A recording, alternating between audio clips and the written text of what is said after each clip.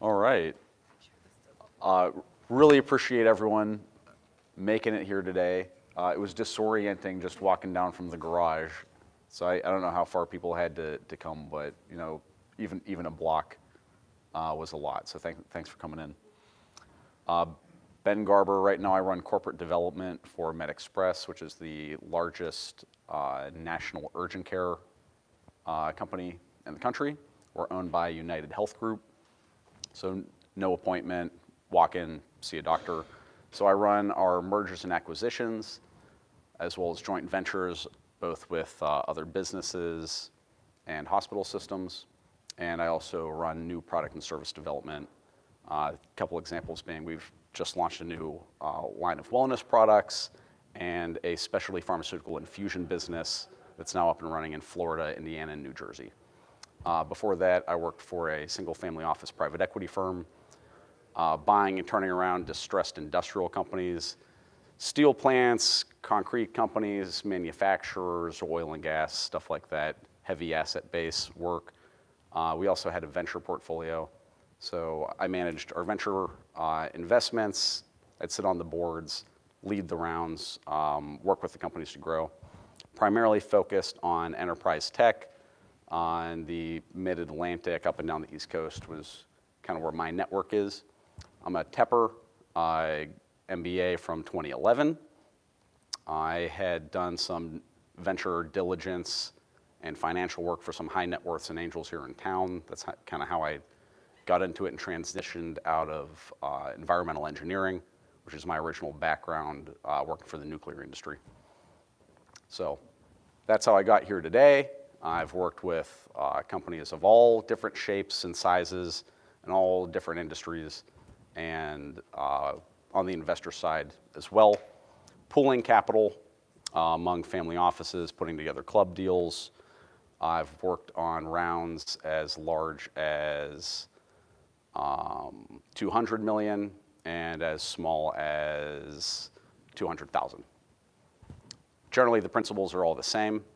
Uh, and what we're going to cover today is applicable to companies of all sizes, but I'm going to tailor it to you know the needs of what you guys are focused on today. So if you don't mind, if, if we could just go around the room real quick, say who, who you are and what you're hoping to get out today, I'd appreciate it.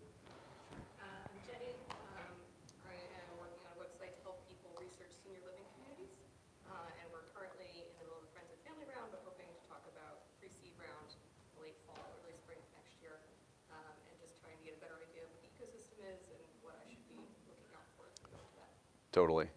Appreciate it. Um, I'm Tracy. I'm just getting like introductory knowledge to different perspectives of like startups. Okay, great. Yeah, hope, hoping to work at a startup? No, probably like startup like in the future, but like not right now. So Oh. for some like. Okay. Nimbus, uh, yeah? Uh, Yeah, with Nimbus, uh, we, uh, right now we are uh, family, uh, family fund, uh, but for next round we'll be looking at bringing in uh, outside investors. All right. Uh, in the back, anyone? I'm looking at you. Thanks for attending today. Is there anything specific that you'd like to get out of the talk or anything you'd like to tell us about yourself? So I uh, am a second year MBA student, focused on entrepreneurship, uh, very interested in the whole uh, startup scene. Uh, uh, want to start my own, uh, but also looking to work at a startup overseas, uh, in Asia, India as well. Um, and then just today, uh, I'm curious to learn more about how do you break in the first conversations um, and get to get into the door. Like networking is one, but then what are the other ways to get your head in when you don't know? Absolutely. We'll cover that. Thanks. Hi, uh, my name's Matthew. I'm a recent graduate student from Pitt in Biomedical Sciences, looking at potentially starting a startup here in the not-too-distant future around a cardiac technology. Okay. And starting to think about, as, as we start to look at very early stage pharmacology and toxicity studies, how we can be really intelligent about not only estimating those costs, but if it comes time to go speak to investors, how we can build in safety for cost estimations for them and, and for us. Okay. Um, Not going to hit so much on financial forecasting. Um, That absolutely uh, does play into the conversations I hope uh, you'll be able to have with investors um, through this, and it'll give you a sense, it ties into valuations as well. So we're going to touch a little bit on valuations, which are built off your financial forecasts. We do have a, one of these connects that we do called financial model, we actually did it a week ago. So if like, if you're interested, the, the, the slides are online on the website, we can connect you with the folks that create the presentation. I appreciate that, thank you. Dave Lachego just published a darn book on it. Yeah. Yeah, so, um, you know, Dave, I think it's financial modeling for startups, uh, and, Dave works at uh, Innovation Works, so it's part of CMU alum, uh, also a, a Woodland Hills alum as well. CMU alum, Innovation Works, Woody High, go Wolverines. Uh, I'm Ian. I'm a current master's student here at CMU. I'm kind of situated within real estate technology. Not exactly looking to start a startup in the immediate future, but I'm kind of just doing research for future opportunities. All right, super, thank you. Hello, my name is Ingrid Cook. I am the founder and CEO at Zoom. So we are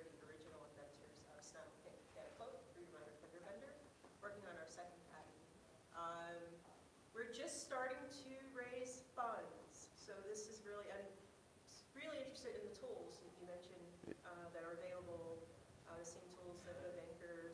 Absolutely. So that's really, so I'm learning as much as I can, um, and I'll be pitching soon.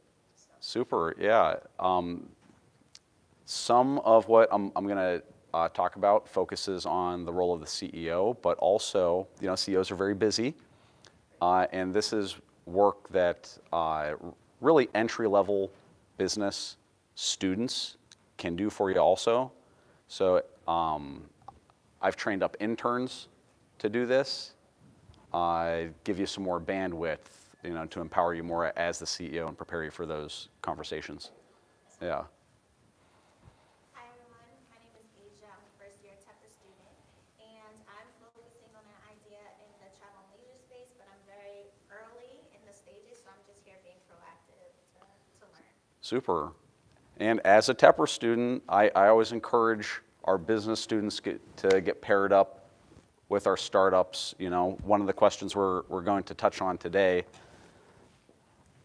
uh, is what can non-technical students do for startups? You know, that's a question I, I hear a lot. If I'm not an engineer, you know, we have some brilliant engineers in the room, but Carnegie Mellon is putting out a lot of very exciting startups. The business students want to get involved.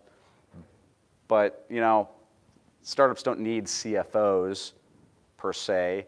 Probably can't pay uh, biz dev people to go traveling all over the place. So how can you get involved and, and how can you help? This is one of the areas that, that we're going to cover. Anyone who's raising capital has heard dozens and dozens and dozens of times from investors, we're very excited about your company, it's just not a fit for us right now. So what we're going to focus on today is how to hear less of this. And it's pretty basic. Uh, this is a sales exercise. So we're going to talk about building a sales funnel. The product that you're selling uh, is your equity, is your company, or a debt instrument. But what you're selling is your company, and the principles are the same as any other sales process. So we're going to go over prospecting, qualifying, and then driving down the funnel so you can focus on the leads with the highest likelihood of conversion and how you reach out, you know, to build that pipeline. So finding the right fit, you know, that's lead qualification. And why companies hire investment bankers. I have uh, mixed regard uh, for most of the investment banking industry. They do play a key role uh, in this funny section of the economy, which we all play in. Uh, they charge exorbitant fees that, like I said, a lot of the work can be done by interns and MBA students. So the very best investment bankers bring actual real relationships. The other 98% of them just hired the interns and MBA students. Yes, yes. So that's what we're going to cover today. Um, let's please keep it interactive. Don't be shy. Ask me any questions that, that you have as we go. I'm going to start with covering the tools that are available uh, to uh, Carnegie Mellon students. You pay for these as part of your tuition, so uh, might as well get some use out of them, all right? Uh, They are not available to alumni, but Faculty spouses? uh, faculty spouses, yes. Faculty spouses, yes. And uh, the method that I have used for eight years uh, since I graduated has been to bring on interns from CMU. Yeah, exactly. So, in exchange for access to uh, these tools, I teach them how to use them, and it's a win win. So, I was talking about this yesterday.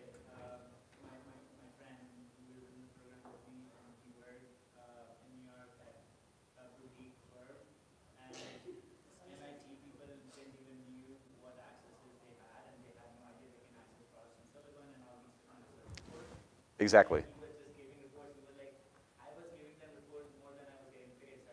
money. Exactly, exactly. Uh, frankly, I did not learn any of this uh, through the coursework in the Tepper MBA program. I actually learned this from other students, uh, which is why I thought it was so important to put this material together. Um, and then, you know, since then, through experience. But you're not going to find a lot of this in the coursework. Uh, this is kind of stuff that's been passed on from student to student. Now, your, your biggest resource that, that you're going to have, another thing that I didn't learn, you know, years until the, I was in the MBA, was there's an actual business librarian who will help you with this. It's, it's his job, and he's excited to do it. Ryan's normally here. He had another commitment today. Uh, he gave me a stack of his business cards. He would love for you to reach out to him and say, Ryan, I would like to use these hundreds of thousands of dollars of databases that I'm paying for. Please help me do it. And that's not a joke. I've had these after I lost university access, and they cost hundreds of thousands of dollars. So use them while they're free. Ryan Splenda is his name. Very nice guy. Reach out and say hi. You can find him in the Hunt Library.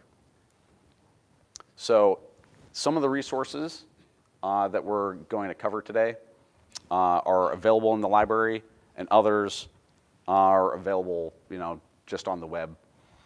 Uh, AngelList is always good for doing a little homework on any individual investor. Crunchbase, I, as they've more monetized their platform, uh, my opinion of its usability has gone down a little bit.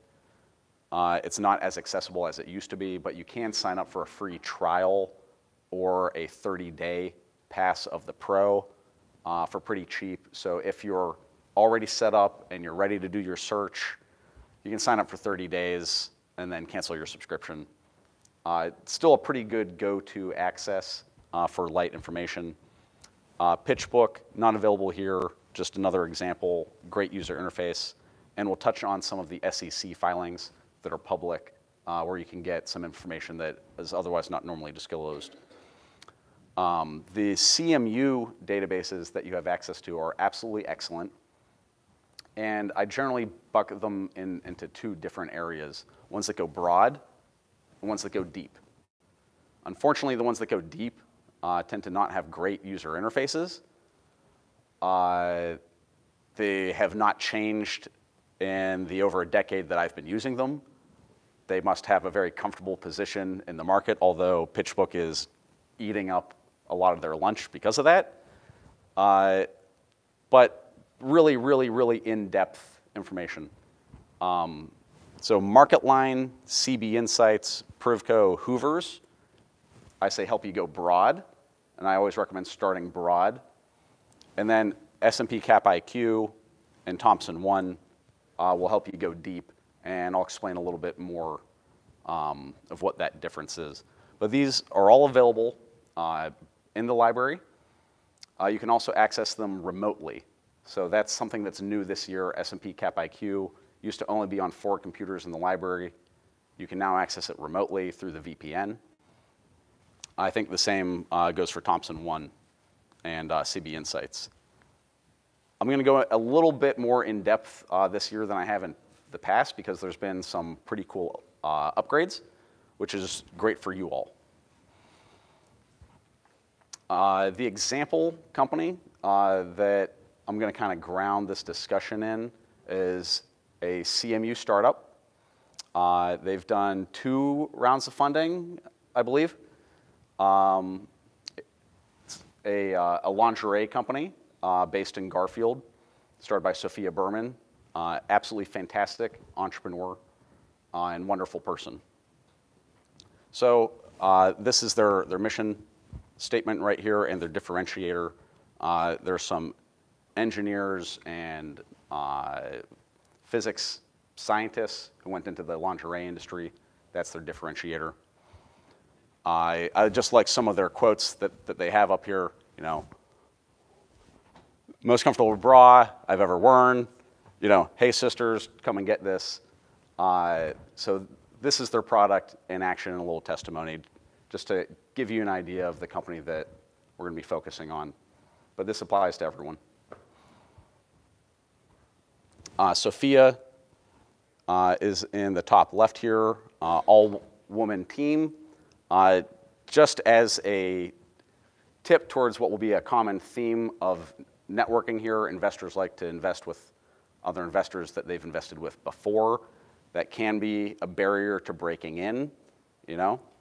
Uh, same goes for operators. So I was catching up with the Draper Triangle guys downtown recently, uh, found out that Bill, uh, former Under Armour guy, who used to be the COO uh, for Thread International, which was a Draper portfolio company, uh, is now the CEO at Trusst. Uh, he got in there through uh, the Draper connection, and now, you know, I think they're being looked at um, for investment. So, just to again reiterate the point of, of these networks and how important the relationships are. CMU alum as well. CMU, Under Armour, Trusst. Okay, so He's the CEO of the company now? he is. So I, What happened to Sophia? I actually sent her an email last night to be like, hey, Sophia, what's up? We should catch up. I'm getting ready to give my presentation. I just heard this. So hopefully we'll be grabbing a coffee soon and I'll find out. But yeah, you know, all woman founders, uh, I mean, Bill brings a lot of excellent experience, but yeah, you know, I'm hoping to catch up with her and It's not unusual. Get the story.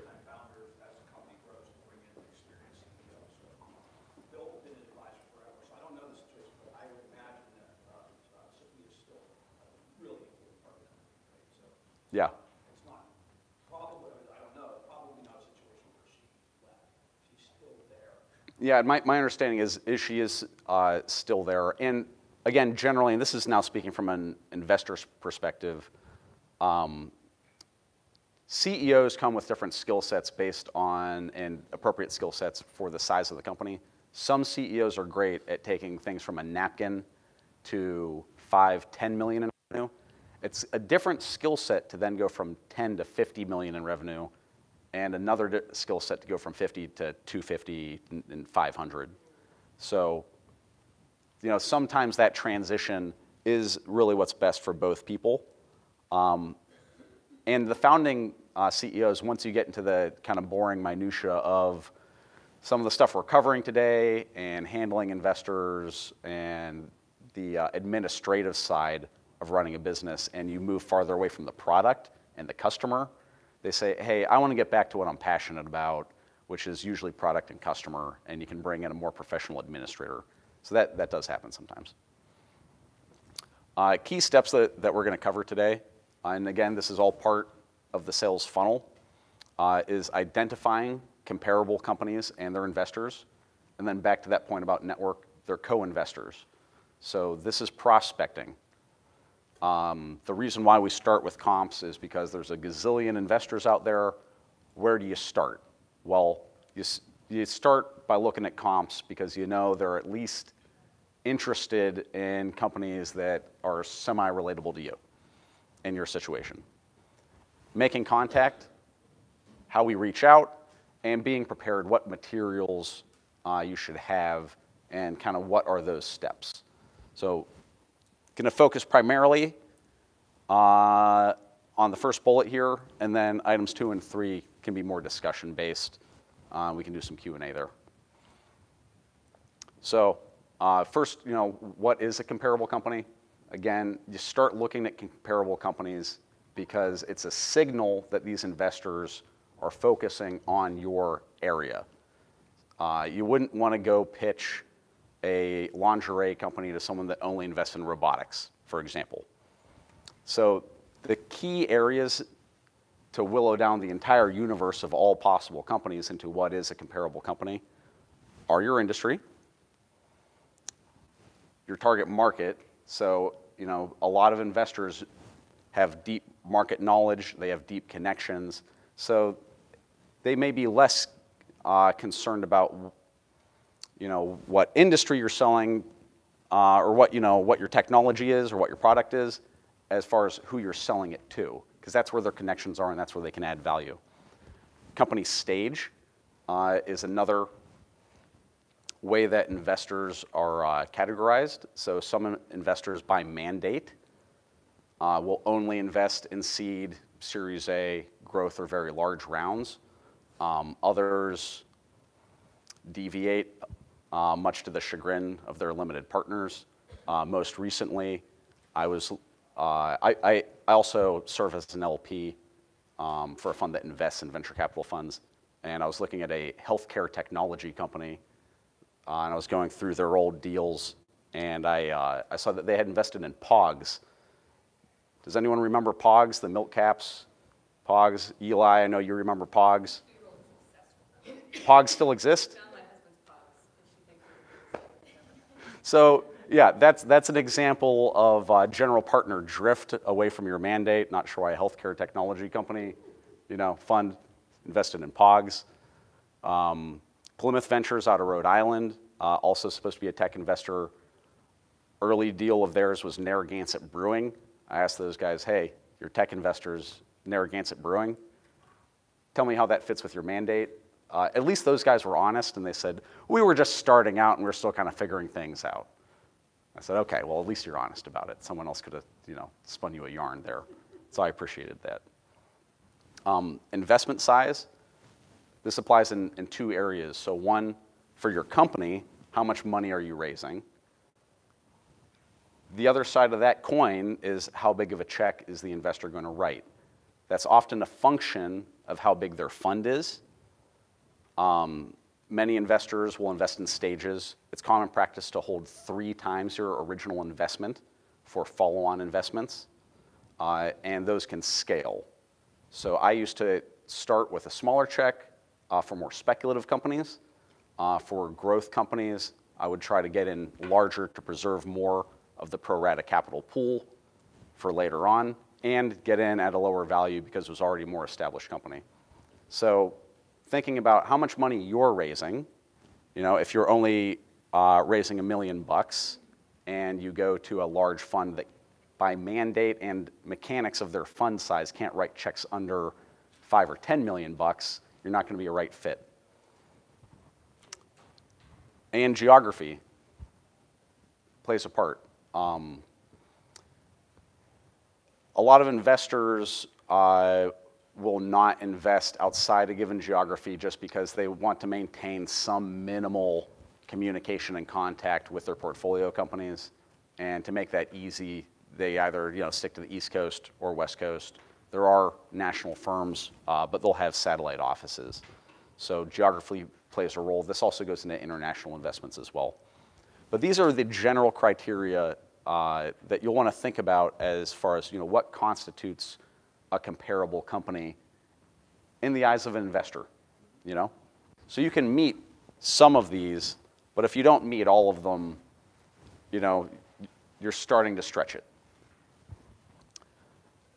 The absolute first step is to be reflective. Think about your own company and where you are, and characterize yourself, you know, in these criteria. So develop your own profile. You know, what industry are you in? Who are you targeting? What stage of growth are you in? And how much money do you need? This touches on your financial forecasting. Um, and I'll also give you the tip whatever you come up with, double or triple it. I also recommend starting broad. Cast a very broad net. Again, we're building a sales funnel, and the widest part of the funnel is the top. So if you start too narrow, you've already cut yourself out of a lot of conversations. So start broad and then willow it down. This is also often an iterative process where you can do a search and say, darn, I only came up with, you know, 20 comparable companies that can only link me to 50 investors I can reach out to. Uh, that's just not enough. I might need to take a second pass and maybe water this down a little bit to maybe a little less comparable companies just to cast a broader net. Uh, when I go through this exercise, I ultimately end up bucketing things into most comparable, medium comparable, and then a bit of a stretch. Because at some point you need a critical volume. You know, if you only end up with 10 people to reach out to and a common hit rate is only 3%, uh, your expected number of investors is going to be zero. So you need a minimum number to reach out to. Um, um,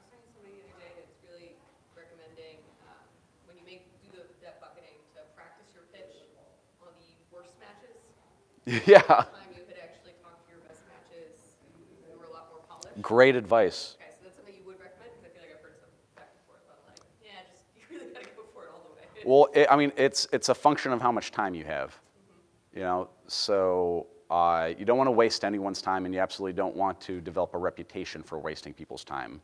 So if you don't think it's a good match, don't waste someone's time.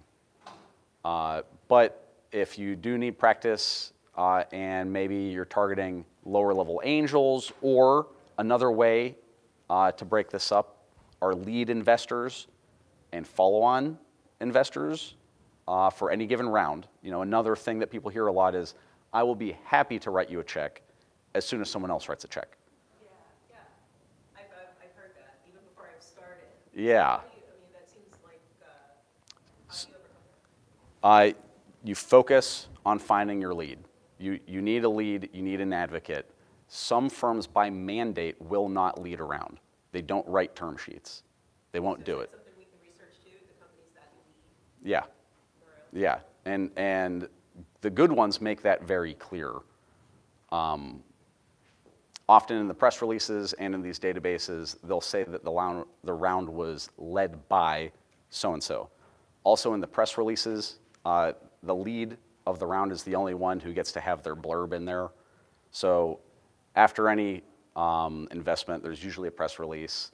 The company says, oh, we're so excited to grow, uh, and we're so excited to partner with so-and-so. The lead investor gets to say, oh, we're so excited to partner with this company. And then usually if there was a broker or investment banker involved, they'll say, we're so good at our jobs. We're so glad that we were able to bring these people together to create value. So you can look for things like that. Um, also, when I get to the uh, SEC filings, the leads are usually the names that you'll find on there. Uh, other investors sometimes will show up as chose not to disclose. So that's something to watch for. Um, but you can start with investors who do not lead rounds because uh, the stakes are a little lower. Uh, but again, it's a function of, of your time, you know. So you'll probably have a higher chance of converting those investors once you have a lead, and I would recommend focusing on finding leads because that's also where you're going to find the best fit, and those are the investors that should bring the most value, and you're really getting married to these people and I, I mean that. So that's where I would focus your attention. Uh, the add-on investors, in some sense, are along for the ride uh, and will be more or less engaged. Uh, but your lead, you know, that really should be a real partnership, and I, and I really do mean that um, for the very best ones. And if there's any advice I could give anyone, uh, it would be do not enter into a partnership um, with someone that is a bad fit. I give two opposing piece of ad- advice on you know the middle ground, and people ask me a lot. You know, I'm not sure it's a good fit. Uh, their expectations for what this company is going to do doesn't really line up with my vision for the company, but they are offering me a big check. So, I mean, there's two opposing pieces of advice that I offer there. Always take the money. Always take the money. If someone's offering you a check, I say take the money. The flip side of that, and I'm going to contradict myself, is don't get in bed with someone uh, that you're not willing to get married to because it's not going to work out well. And you really have to think long and hard about that. Uh, so, where the cutoff is, and this is the best advice that I get from advisors like Dave, it's not who to invest with, it's who to avoid and who's a bad fit. So, is someone a good fit? That can be a hard question to answer, uh, but you can usually get pretty good advice on who's a bad fit.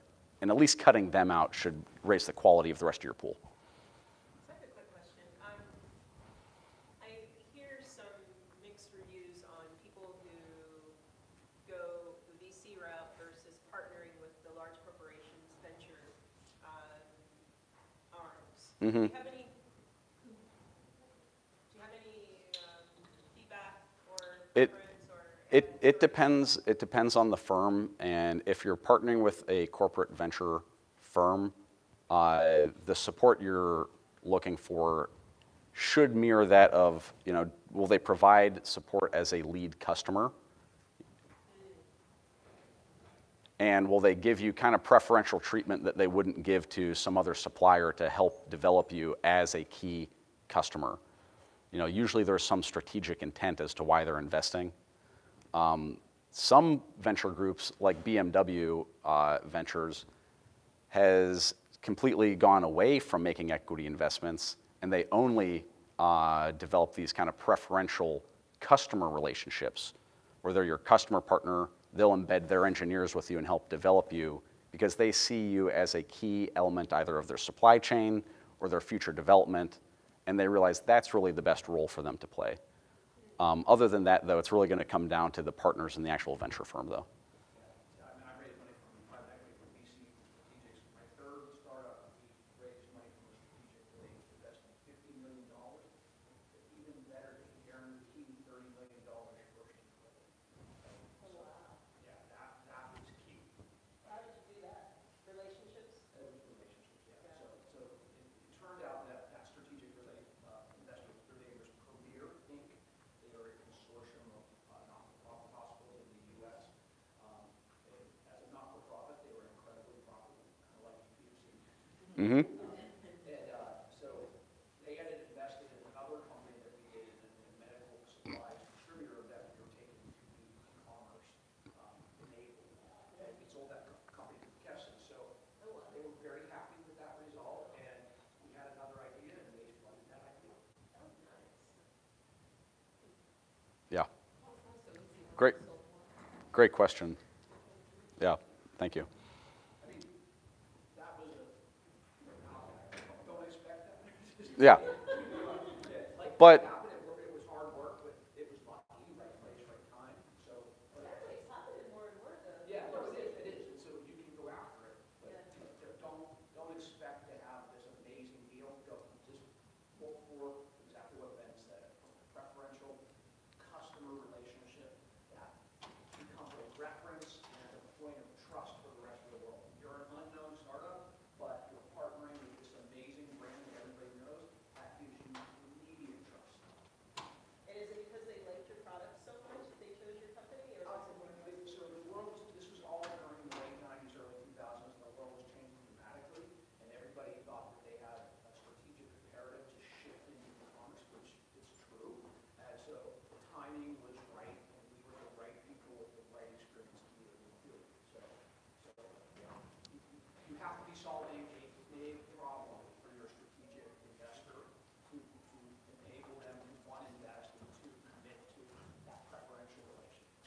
I mean, a, a good example, uh, I can talk to United Health Group, which owns MedExpress, is launching an incubator powered by Techstars. They're based in Minneapolis, uh, which is where United Health Group uh, is based. They also have United Health Group Ventures, and Optum, which is the technology arm of United, has United Ventures. Um, United Health Group has a roadmap for the company and where they see the future of the market and where they see the future of the company and the capabilities and customers that they need to access to realize that.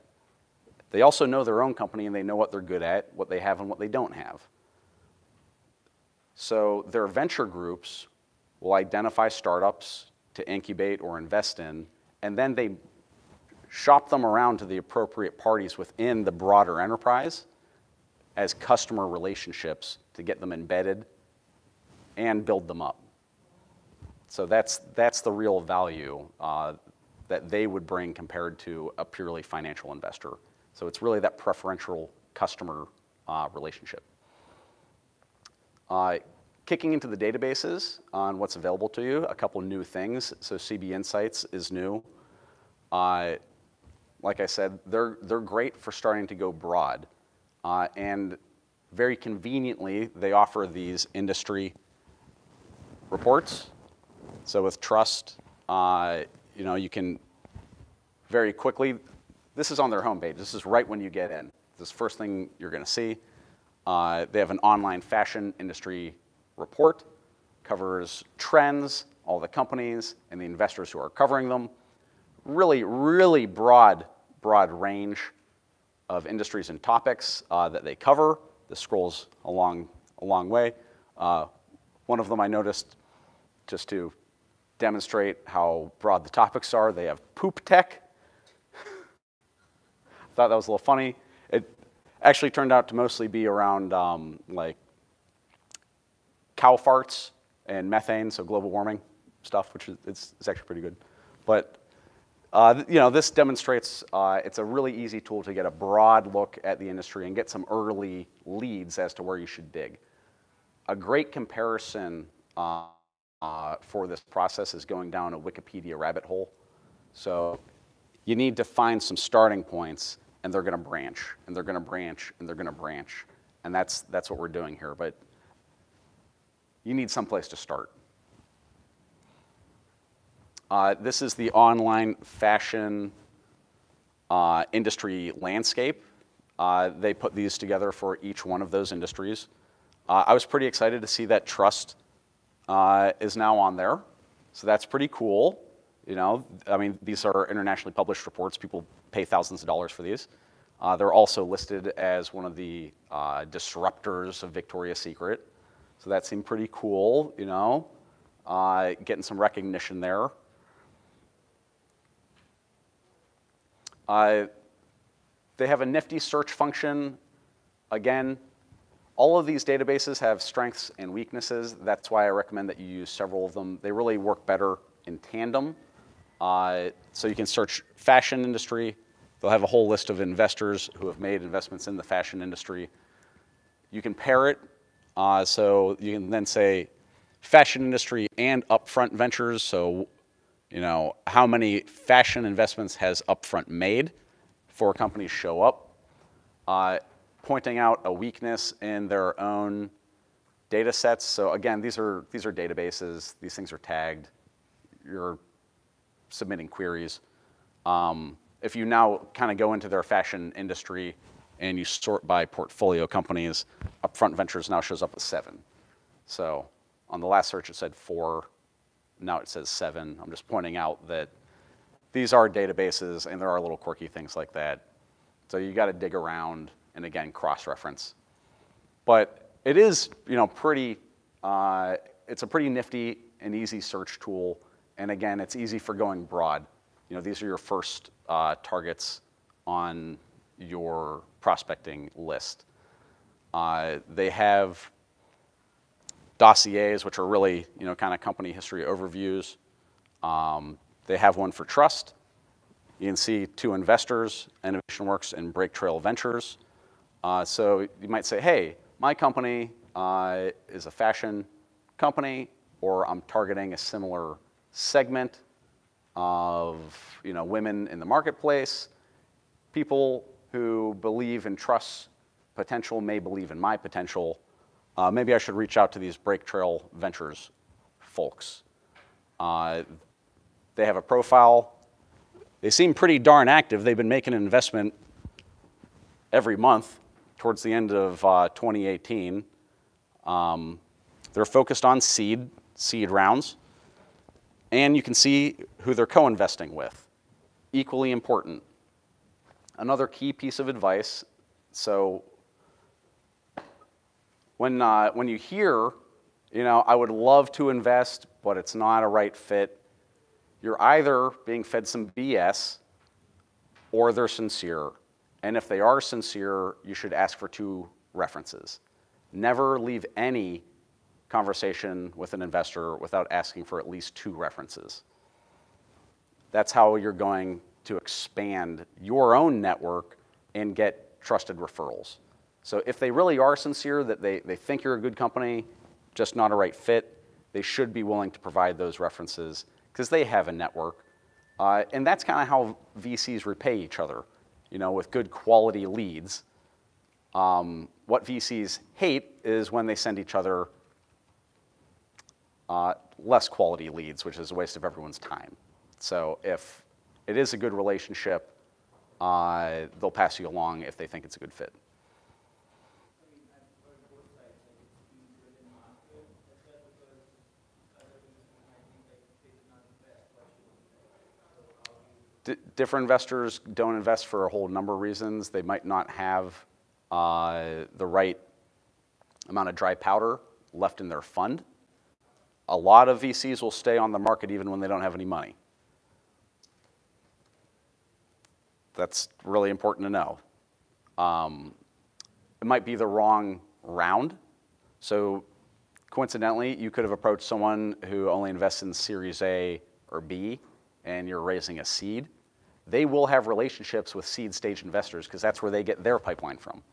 So they might legitimately say, hey, uh, I would love to invest in you, you know, after you get up to a million in revenue or you have a marquee anchor client. Uh, go talk to this guy or lady who I have co-invested with several times. You know, they're farther upstream than I am. You'd be a better fit for them. And if things go well, I would love to be in the next round. Good question. On, on the previous round, it it showed Trusst with a million dollars of funding, but the valuation was empty. Uh, I'm just curious, because normally they were, they ask for, normally you will see a valuation. Granted, early on, they really don't mean much, but I was, um, how do you avoid that? Because oftentimes that comes up. Yeah, so we'll, we'll, we'll touch on that in a little bit. A lot of uh, this exercise also produces a comp table. So a comp table is a list of transactions with similar companies and what their valuations were. So then you have a basis to then approach an investor and substantiate why you think you're worth $5 million, $20 million. Uh, the investors will be armed with this information. And if you don't have it, you're really setting yourself up uh, for a lopsided negotiation. I've been in those same conversations with other investors on the secondary market or investors who are trying to bring you in on their rounds. Um, after LinkedIn went public, LinkedIn was on everyone's comp table. I didn't think it was appropriate, but it juiced everyone's valuation. So all of a sudden, you know, Trusst is comparable to LinkedIn, you know?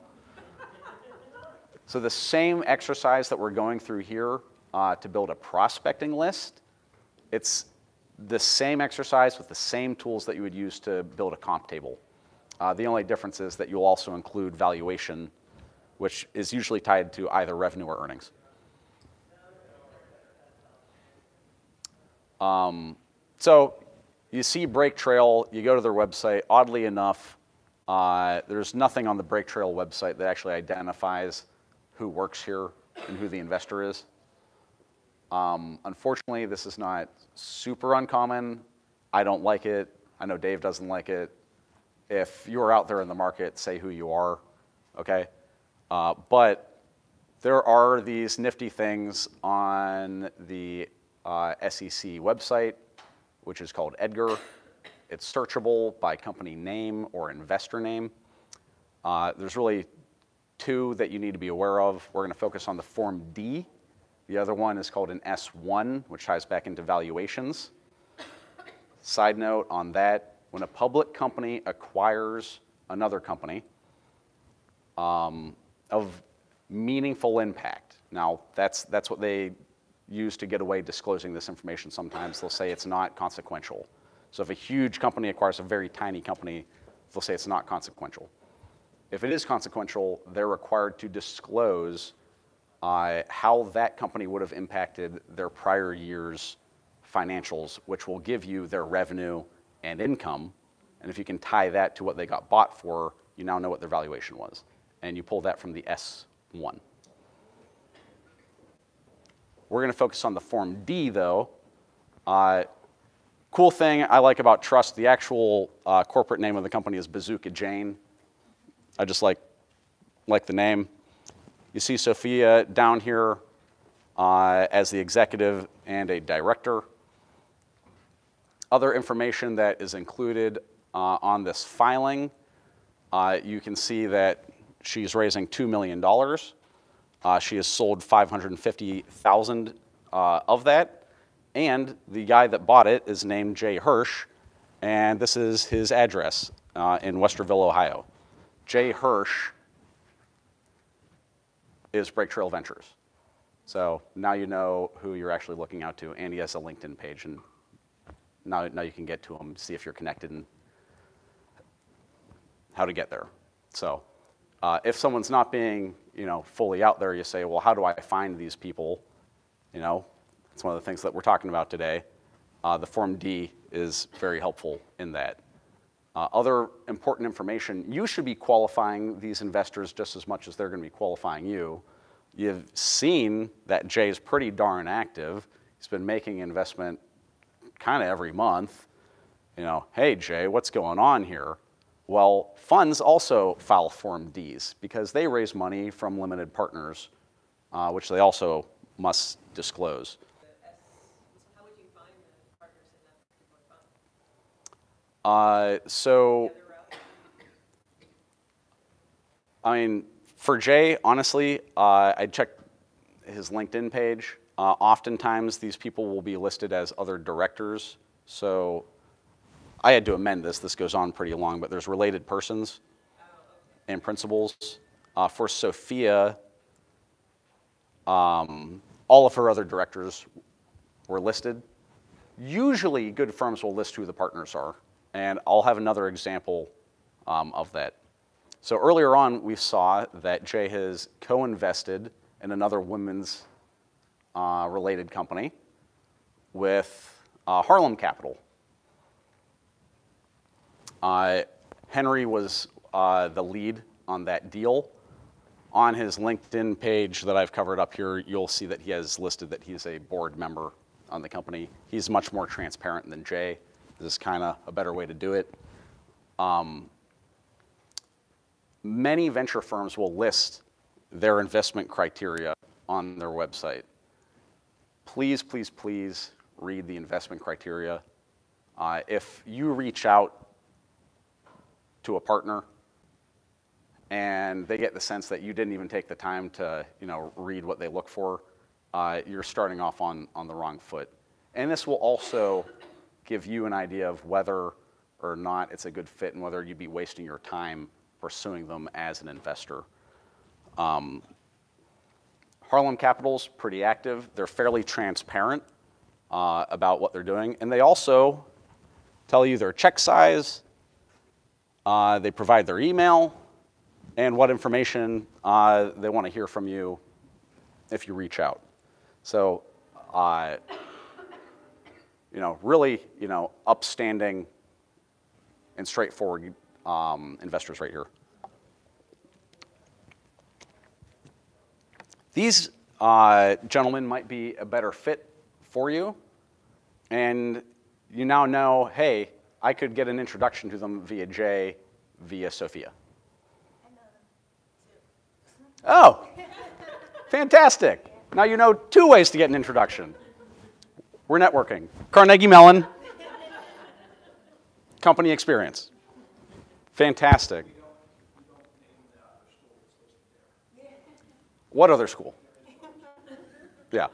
So uh, other big, big, new, exciting uh, upgrade uh, that's happened to the databases. So this portion of my presentation used to be much longer. S&P Cap IQ uh, has now added this new feature called Find Investors. I was extremely excited to see that. Super cool. Uh, it used to be much more difficult. So this is a screening tool. You can see it's under their screening section. Uh, so again, um, CB Insights going broad, S&P Cap IQ going deep. This is a great tool for developing a comp table, which will help you with your valuations. Uh, very quickly, the way this uh, tool works is it's a series of screening criteria. So, you know, you're looking for investors. Um, they have an incredibly long list of industries and subcategories. So I'm looking for investors who invested in apparel, apparel retail specifically. Uh, you can add on, you know, again, like I said, it can be iterative. You want to go broad. If you don't get enough, you know, you may have to go broader. So maybe you add beauty care products, other companies that might target a similar customer segment. Uh, they let you organize by stage. So I can say, you know, I'm looking for seed stage, early and, and mid stage. Uh, the types of transactions you're going to be looking for if you're growing a startup are growth capital. Uh, these are more debt and private equity type options. And then uh, what I'd like to point out over here, so what I did was a search for uh, investors who are investing in comparable companies to Sophia's. And you can see I started out with 326,000 investors and as I added these different screening criteria, I got down to 149 that are a good starting point. You know, 149 is a good starting point for a prospecting list of, you know, people to reach out for. Um, once you dig into it, 149 might turn into 100, but 100 is still pretty good. If you end up closer down to 50, I'd repeat the exercise and build it up more because again, there's going to be a conversion rate. You know, you'll grow along the way through other references, if, as long as you're always asking for two references with each conversation that you get. But you want to start uh, as high as you can.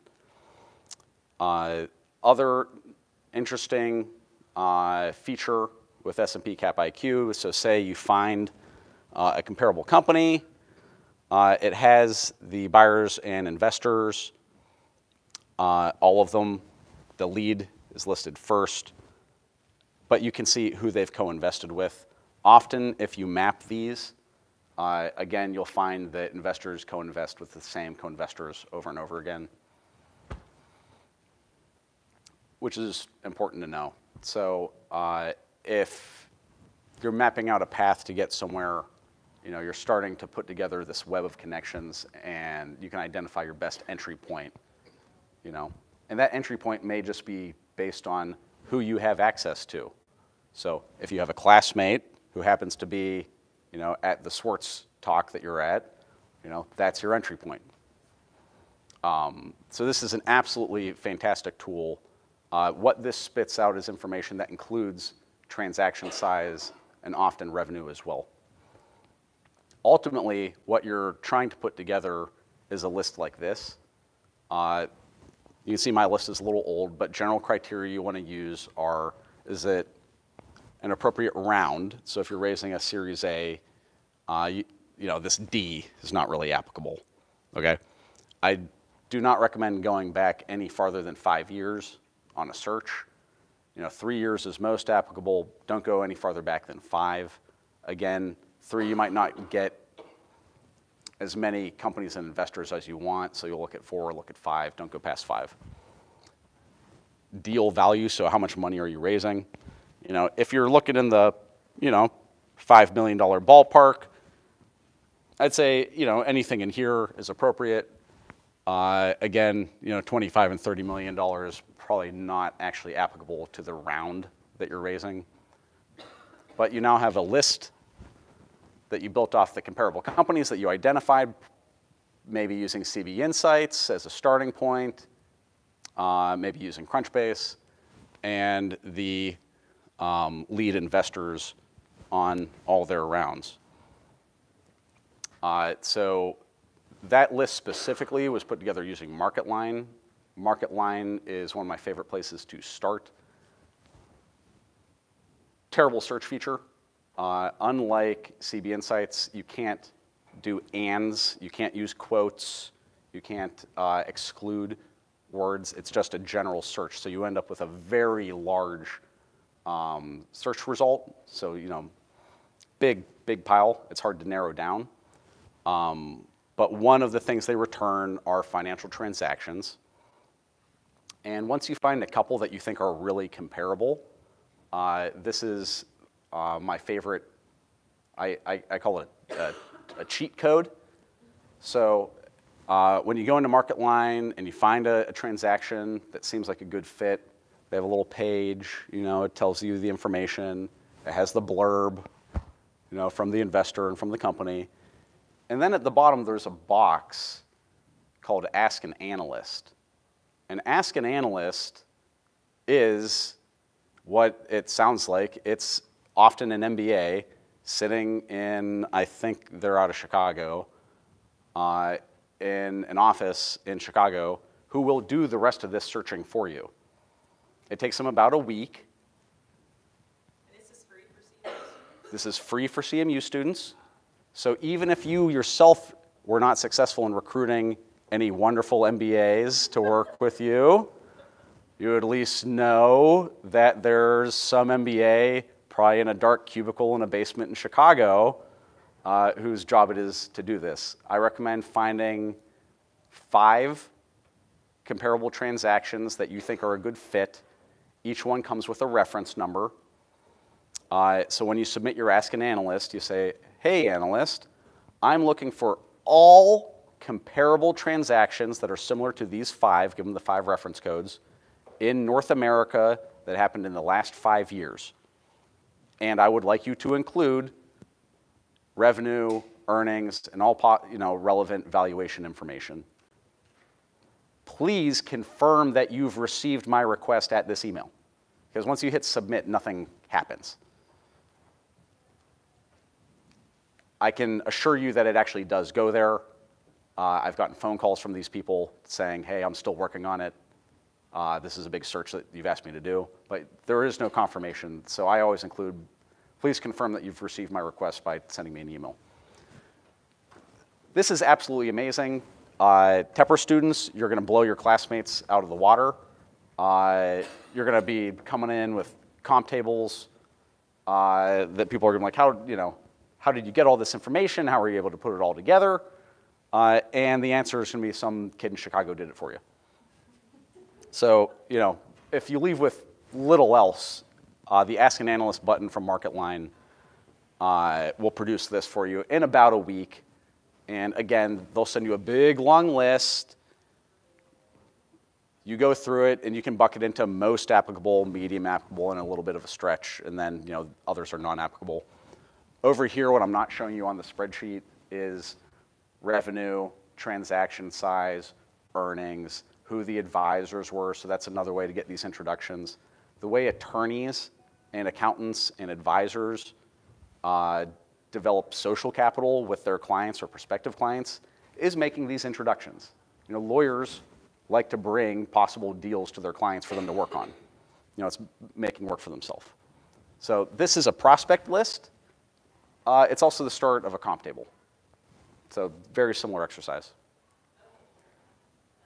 Uh, again, these things work best in tandem. Um, so if one of the companies on this list uh, that seemed, you know, applicable to me, Adore Me, Mousse Partners. Hey, Mousse Partners. How do I know Mousse Partners? Wait a minute. You know, let's look them up on, on Crunchbase. Uh, they seem pretty active. Um, I don't see it on here, but Mousse recently came into uh, Four Moms, which is downtown. Uh, they were brought in by Bain, so again, reiterating the point that investors co-invest with same co-investors over and over again. Bain was the lead on Four Moms. They brought in Mousse, which is the family office of the Chanel family. So this is their investment vehicle. Man, who do I know around here, uh, like who could introduce me to the Four Moms guys? Hey, Dave. All right, that's that's the way this works, you know. I'm I'm also an investor in Four Moms. Dave's an investor in Four Moms. Uh, so Four Moms partnered with Mousse. Mousse uh, is invested in Adore Me, which seems like an applicable comp. Oh, by the way, there was just a secondary, I'm just mentioning this, there was a secondary transaction, which means that one of the early round investors down here, um, their fund life was probably ending, so that's another important thing. It's not just how much money is left in a fund, it's where they are. Uh, if you're talking to an investor who's in year six of their fund, um, and you don't plan on exiting for five to 10 years, you're eventually going to run into a conflict. A lot of the weirdest transactions that I see are because the underlying investment fund you know, hit year 12 and the LPs wanted their money back and they had to sell the company uh, for whatever they could get for it, even if it wasn't the right time. So someone down here had to give their money back, uh, and this Alexander Mars bought their shares. Um, I've been approached uh, many times to buy out existing shareholders on the secondary market. I came with cap tables to uh, tell them that their cap table with LinkedIn was a bunch of BS and that I thought the company was only worth like a quarter of what they were asking for. Again, importance of having the cap table. Um, but you know, Alexander Mars, you now have another lead. You know, if he's buying shares in Adore Me, he probably won't show up on any of the other searches, but he's a viable target as well. Um, other fun things I just like to point out, you know, uh, that you get from these profiles. So again, uh, this is the Adore Me profile on MarketLine. You can see who's invested, um, who are co-invested, something I thought was funny. Uh, they used to be called the webcam generation. This company was founded in 26, 2011. I guess webcams were cool in 2011. So I just thought that was funny. So, you know, neat things that, that you find on these profiles. Uh, again, back to, you know, who do you reach out to? You're not reaching out to a firm, you're reaching out to a partner. Uh, Upfront Ventures, you know, led the round in Adore Me. This is their Crunchbase profile. So, you know, pretty quickly you can see, hey, um, they have a lot of dough. They're pretty active. You know, maybe these are appropriate people to reach out to. A question I get a lot is, will a fund invest in a company that is too much like their other company. Um, that usually depends on fund size and how active they are. If you are a 500 startups or an upfront and you're investing in hundreds of companies, you will invest in very similar companies because you probably have a sector focus. You are not going to invest in a direct competitor of an existing portfolio company but you will invest in multiple companies that play in the same playground just because of sheer volume. If you're a smaller investor and you only have 15 companies, uh, like Jay, you know, Jay, Jay's only going to invest in 15 to 20 companies. Um, he's going to need to diversify, uh, and depending on what his mandate is, he might not want too much sector risk. So the answer to that often depends on fund size and investment volume.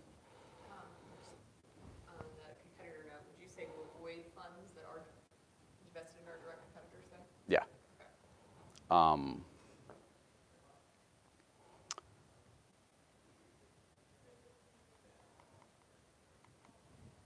Yes, I would. I, I was trying to think if, you know, there would be some competitor to your competitor that would make a good fit, but I honestly, industry, like private equity is good for bringing up little companies. yeah. Have like a monopoly problem and split. Yeah. Uh, so private equity firms often focus on complementary and integration and roll-ups. So that's a little different. Um, private equity companies absolutely will buy two identical companies and merge them together to instantly make a bigger company uh, because there's multiple arbitrage. So small companies generally trade for smaller amounts of money. Big companies trade for larger amounts of money. So just if you take a $100 million company and a $100 million company, you put them together, it's instantly, the valuation goes up, not just by the factor of the 200, but you'll get, I'm just gonna say, instead of a 8x multiple, you get a 10x multiple because of scale. And now these financiers uh, made a return without actually doing anything. So private equity is different, uh, it's a different model than, than VC. PE guys will buy competitors and merge them together. Venture firms generally don't. Uh, so this is the Adore Me page on the Upfront uh, website. Most venture firms will have a list of their portfolio. Uh, if they don't say who led the investment uh, on the company site, uh, in the bio of the partner, it will say which investments he's led, he or she. Um, unfortunately, most often he. Uh, so again, you know, if they don't show it on the company page, you can get it uh, from the partner page, or uh, like our other friends saw on their LinkedIn site, will say I sit on the board of. You can figure it out that way, or on the form D, they would be the name listed as a director of the company on the filing, not the other partner. Uh, Adore Me happens to be listed um, by Trusst as one of their competitors, so I'm just bringing that full circle. So uh, those are uh, the databases that are available to you. Uh, those are a couple different paths that we just walked down to navigate them to identify the actual people that you want to reach out to and how you can get those connections to reach out to them. So uh, from there, I'd like to go on to you know, actually making contact. Um, so I'll take a quick pause if anyone has any questions over what we just covered before moving on. I have one quick question. So when you go, you know, everybody has an exit screen. What's your exit strategy? Mhm. So when you go and look at exits, is it best to go to the SEC Edgar tool, or is it uh, a better tool that you recommend? Uh, for exits, S&P Cap IQ uh, is, is going to give you the, the best information. And again, that will feed into your comp table.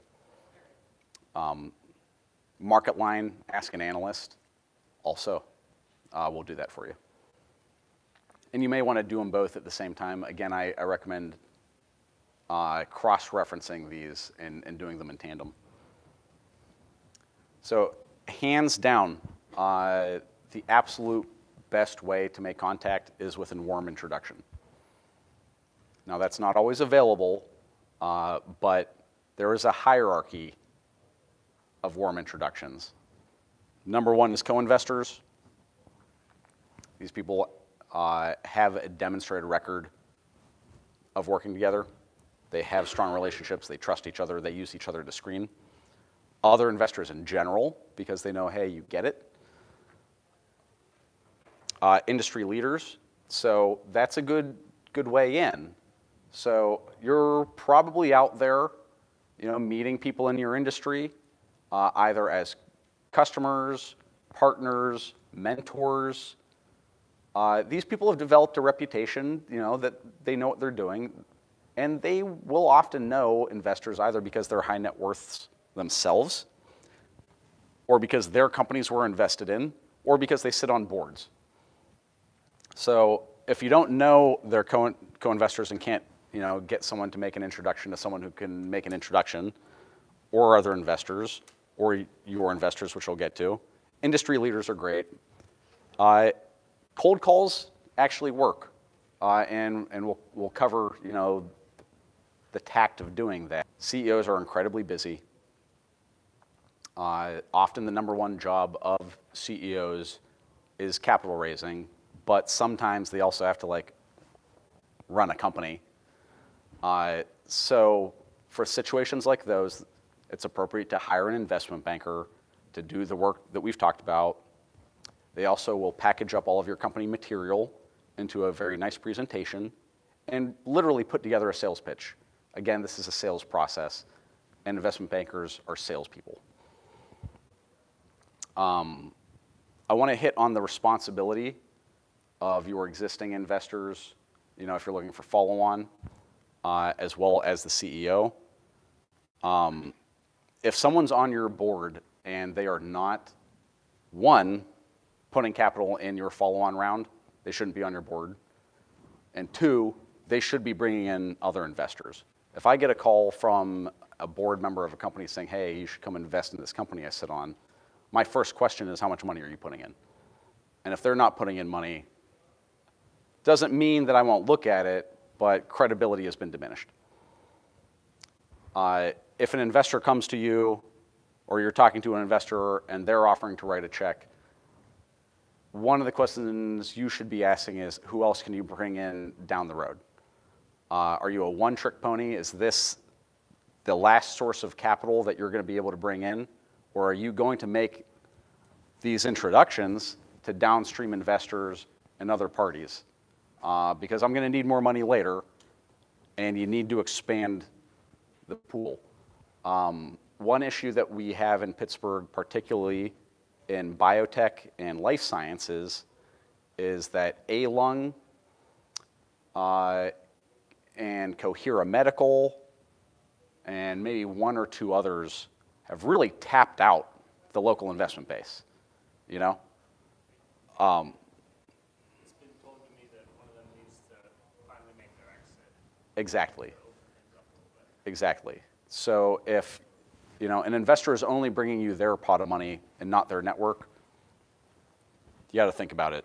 Can I ask you a question on that subject? Mhm. So the, the main three, if you will, firms, well, three-ish, PLSG, LifeX, Innovation Works to some degree, UPMC Enterprises to some degree, who else? And around, around this area in that space? Oof.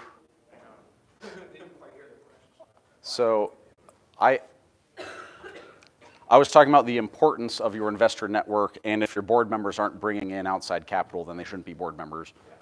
Uh, and I said that an example of a problem, uh, if your investor is only bringing their pot of money and not a network of pots of money, and sometimes that network can be too interconnected, is how the biotech and life science community here is largely already tied up in A-Lung, Cohera, and maybe two others, um, and the, it's, it's tapped out.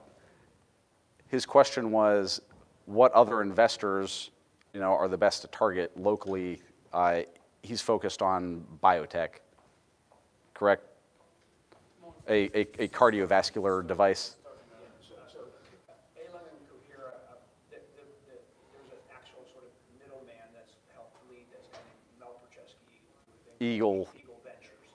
Um, a- and that, that's a network of high net worth individuals that he keeps very private. So you know, he's never gonna let you know who they are, so it's hard to get to those people. But, um, LifeX is the newest fund on, on the block. It's basically a, a incubator out of the University of Pittsburgh coupled with a venture fund that's being raised to, to fund early stage companies. But they're not there yet. Um, no, there's a way to go. Um, the Pitt- Pittsburgh Life Sciences Greenhouse historically was a really good source of money, but they're out of money and they're just operating vice. Um, One, one new emerging organization that wasn't mentioned around the Innovation Works, uh, different pockets of money is, is 99 Tartans. I don't know if you've heard of it, but it, yeah, 99 Tartans. It's a, uh, it's an angel group of CMU al- alums, yeah, higher, uh, uh, looking at investing in CMU-related companies. It doesn't have to be a CMU company, but that, that- that's a priority. Um, uh, We're working really, really hard to bring venture capital here. So Jim Swartz is uh, one of the greatest venture capitalists of all time. He founded Accel Partners, amongst many other incredibly successful investments. They invested in Facebook, they were the first uh, uh, venture investor. So we, we host venture capitalists in here all the time. So the Swartz Center can be a conduit to, to help startups here. So we help startups like Sensors or like Novelist and, you know, raise money because we know we have a network of investors that are not here uh, as well. We obviously know all the investors in town. But it's, you know, Pittsburgh, despite all the great things happening, and there are a lot of great things, is capital poor and it's a real issue for us, and, you know, it's one of our, our, our main thrust is to help change that landscape. And, and evidence from that, I, I think the last money into A-Lung was Allos, and they're out of Cincinnati. So, I mean, you have to keep reaching farther and farther. Elon is on that pillar right behind you. Yeah, yeah. Jerry McGinnis, uh, uh, Jerry, uh, has a family, uh, office, and, they have a called, Audrey's. Audrey's Kitchen, which is his wife, and they make their decisions at the kitchen table. Uh, and, uh, uh, Jerry's daughter is actually running at Alicia McGinnis, so, um, I think your company's appropriate or appropriate timing, we certainly can introduce you to that as well. And can't speak more highly of uh, Mr. McGinnis and, and the legacy uh, that he's left. He mentored my mentors, so He- He's my mentor as well. He, he founded Respironics, which was bought by Philips. So all, if you hear Philips Healthcare in town, it's really Respironics and he started it. yeah, Uh, we have a competition here which invests in companies called the McGinnis Venture Competition, and it's named after Jerry. He, he endowed that, that company. yeah, great legacy that, that he's, he's left in Pittsburgh. I, I appreciate the, the side discussion, so thank you. Yeah, Yeah, no, there's a, that's the thing, there's, there's a lot of things that are not sort of in your face, uh, that the network can provide, and the network is the most important thing for building here in Pittsburgh. absolutely. Um, so again, it is, you know, investors bringing a lot of things to you. One of those things has to be bringing in other investors and bringing in follow-on capital. It's not just the round they signed up for. Uh, and if they want a board seat, you know, the price of that is buying in on future rounds and bringing in future money. And if they're not doing that for you, you really got to ask why they're sitting on your board and how invested are they really. Uh, but ultimately, it comes down to the CEO. The CEO is the number one salesperson. It's your company, uh, it's your equity, uh, and everything always comes back to the CEO. Uh, but like I said, we've covered a few tools that will help you leverage some lower level labor uh, to give you a boost in doing that. Uh, now, being prepared and what you need to actually reach out to these people, especially if you're cold calling. So you now have your target list. As Dave just reiterated, help your network, help you. So these are the people I'm trying to get. You know, does anyone know how I can make contact with these people? Leverage everyone you know, but at least you have a list to focus on. You know, that really helps. You know, you can go to Dave and say, hey, Dave, I'm looking for an introduction to investors. That's helpful. Or you can say, hey, I'm looking for an introduction to Jane Smith. That's more helpful. Uh, if you're doing a cold reach out, have a personalized introduction with why you've selected them as someone that you're reaching out. And you can reference back to your comp list. You say, hey, I saw you made this investment in this company. I'm similar in these ways. I read your website and what your investment mandate is. I match your criteria. This is why I'm a good fit. That's all appropriate for an intro letter. So I saw you make this investment. I match your criteria. I think it's worth us talking. Three documents to have. One is a one-page teaser uh, that is just a simple summary. You would send this with your intro, either attach it to an email or if you're actually sending a physical letter. Uh, but the, the one pager, this is very common. This is actually how investment bankers start. Uh, they don't include a lot of proprietary information in it, and they will send it out to their entire email list. They will blast this thing all across the world. And if they get any responses, that's one of the ways they build their target list, is who responded to this. I mean, it's not spam, it's a step up from spam for the investment bankers, but um, in a lot of industries, they, they think of it as spam. But have a one page teaser, have a summary. What's your company? What are your traction metrics? How much money are you looking to raise? A little bit about you also. You know, who's the founding team? What's your product? One page, make it pretty. If they respond to that, have a short slide deck ready. Uh, if you think uh, your story is better communicated uh, through a written document, keep it short, uh, including addendums and pictures and tables and everything, not more than four pages. Three is probably better. You know, this is still early on. They're not going to do a lot of reading. But have your slide deck ready. That would be step two. If someone gets your intro, you have a phone call, they say, okay, the first request you're going to get is for your deck. So have your deck ready to go. Um, and lastly would be any sort of business plan and your diligence documents ready. So if you find someone who's interested, the last position you want to end up in is they're going to ask you for materials and you saying, hold on, please wait, I need to like go get organized and get my stuff together. So you'll want your um, incorporation documents, you know, you'll want the contact for your counsel and who you're working with. Uh, you'll want your cash flow forecast or whatever your financial model is, uh, any, you know, appropriate information uh, related to uh, your product and, and development as well as uh, the plan and the pipeline, customer information. Yep. Working on entity formation firmware right now, the big question is cheaper, easier LLC or Delaware C Corp because investors find it more attractive. Do you feel like that really, you've seen that influence these decisions? Uh, yes, and the reason is um, LLCs pass tax liabilities on to their investors. Certain types of investment vehicles cannot accept tax liabilities because they're also LLCs, which then means they are sending tax liabilities back to their limited partners uh, who are like, why am I getting a, that's a K1 filing that they would then have to file on their taxes. Uh, if a lot of firms were set up that way, their investors uh, would be submitting probably like hundreds of K1s with their tax returns. Um, I'm sure the tax accountants would, would like that, um, but that does have an impact.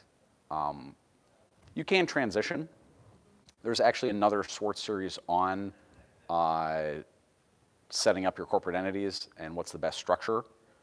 Uh, but that is a, a consideration, and the tax flow back to the LPs, many of which are tax exempt endowments, for example, um, is a reason why a lot of companies go with Delaware C Corps instead of LLCs. Uh, you can uh, mitigate your personal risk by you personally incorporating as an LLC and you being an investor in your own company. That's not something you want to do right away until you're actually raising funds, right? So if you're, You can do it. I mean, I often do it right off the bat. You can. it's not, I mean, it's, It's cheapish. I mean, you're you're gonna spend a thousand bucks, which uh, is both you know a meaningful amount of money. You don't want to throw away a thousand bucks, but at the same time, you know, it's a thousand it's a thousand bucks. So, it's not necessary. Uh, I we have our docs ready to go, but my attorney said that once you file it, then I have to pay, especially if you have IP under that, you have to pay extra. yeah. I was just trying to save us. I'd, I'd follow uh, your counsel, uh, your counsel's advice. I mean, often also I'm in the position where I'm spending other people's money. That's what I'm trying to get Yeah, to yeah. All right. So this is what you're, you're going to want to have prepared. Again, uh, last situation you want is you, f- you got someone in and they say, all right, well, let's, let's dive in. You know, I'm, I'm ready, I'm excited, and let's go. Say, oh, well, I, hold on, I need to go get my stuff in order. What, what, what exactly is it that, that, that you want again? So if you're going to reach out uh, with a cold call or cold email without a warm introduction, these are the materials you're going to want. And even with a warm introduction, they're going to ask for the same things.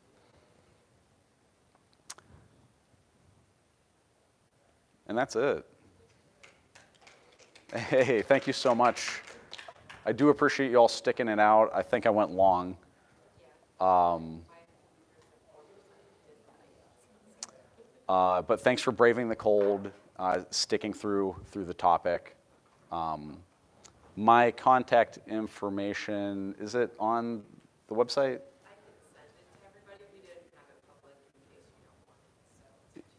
Yeah, no, you, you can put it up there. I uh, usually have it on the last slide. Um, again, I'm, I'm a Carnegie Mellon alumni. I've uh, gotten so much out of the school. I'm happy to give back and uh, support our entrepreneurs. I think that's a great strength of this community. Um, I'd encourage you to do the same. Uh, but please don't hesitate to reach out. Happy to you know make any introductions that I can make, uh, or you know offer advice as appropriate. So thank you again all for for showing up and sticking it out, and braving the the polar vortex.